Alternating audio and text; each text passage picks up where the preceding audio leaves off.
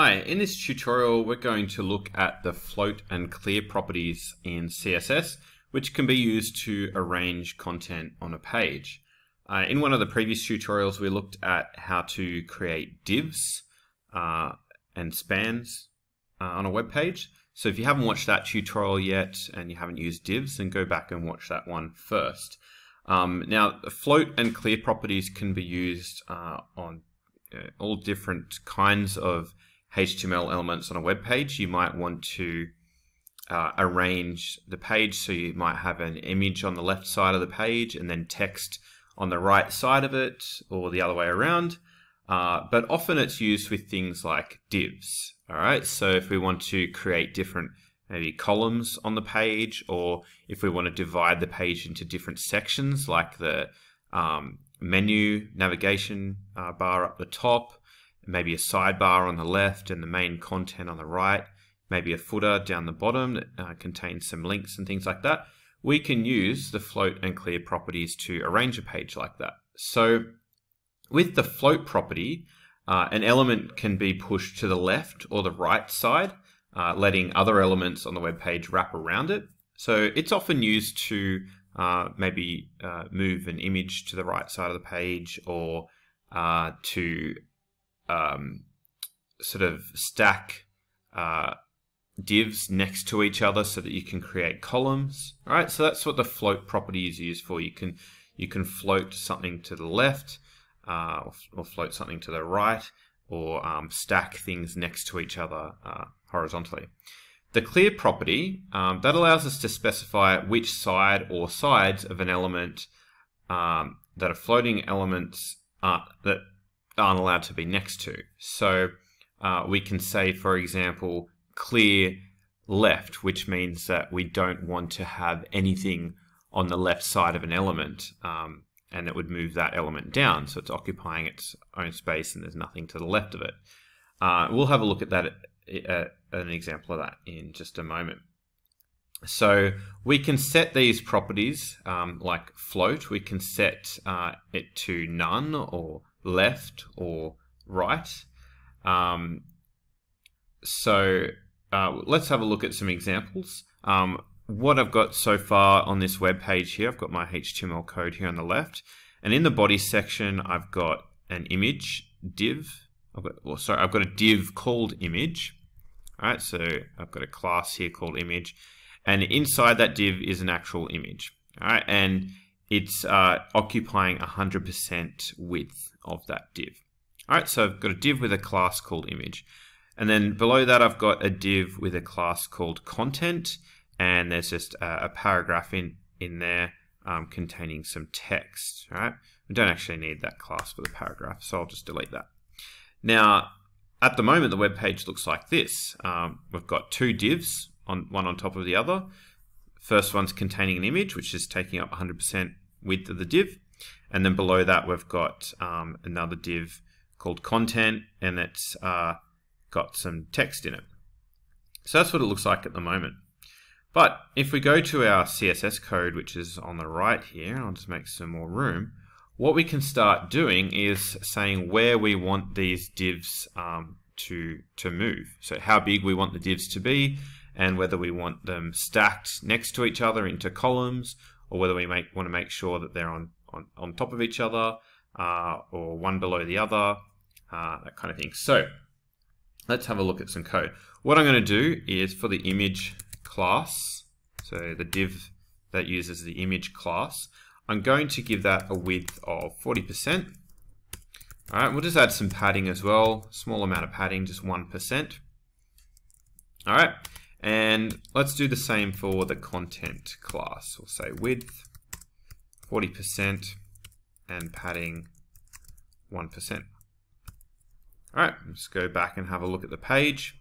And now we've got, um, we've shrunk those divs down, so they're just about 40% width of the page, but there's also a bit of padding around both the image and the uh, content, text content.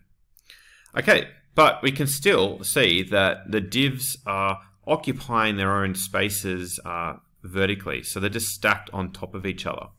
But what we could do is we could make this text here move to the right side of the image. Okay, So to do this, what we can do is use the float property and we can say float left so that these things are these are elements or divs are stacking next to each other uh, or what's on the, the left of it. So starting from the left, sort of stacking uh, next to each other. So what I'm going to do is for the image, I'm going to say float left, uh, which if we refresh the page doesn't really do anything. It's still just sitting there to the to the left, but we can say for the content to also float left. And if we save and refresh, we now see that the image uh, image is on the left, but the text is now next to it on the right. So we didn't say float right, we said float left. So the way it actually works is when we say float left, um, we've got float left for the image and float left for the text, they're actually just going to keep stacking next to each other. So, um, so we've got image on the left, um, but then next to that, we've got the text. And if we had something else that we said float left, if there was enough, um, if it was small enough to fit next to it, it would also stack here with the other things to the left of it. All right, so um, float, when we add float left for a number of different elements um, where their widths add up to less than 100% of the page, they're going to stack next to each other horizontally. But now I might want to say, all right, um, make it stick to the to the left, but I don't want the image to be um, to the left side of the text. So I could say clear left. What that's going to do is with this content div, the text, it's going to look for anything that's to the left of it. If there's anything to the left of it, like another div, then it's going to move down. It's going to clear. All right, so if we save and refresh that, we see the text moves down. All right, now we could rearrange these divs. We might want to have, um, say, the image on the right instead and the text on the left. So we could just change the order of the divs if we wanted. So now content is above image. And for the image, we might say float right. And for the content, we might say float left. And now they've just swapped position. All right, but we can see that there's a gap here. So I've said float left for the text, float right for the image. We can actually see the image has moved all the way over to the right. If we wanted the image to stack next to this content here without being all the way over to the right, then for the image, we could just say float left as well. All right, and it moves over to the left, um, but it's still stacked next to this text.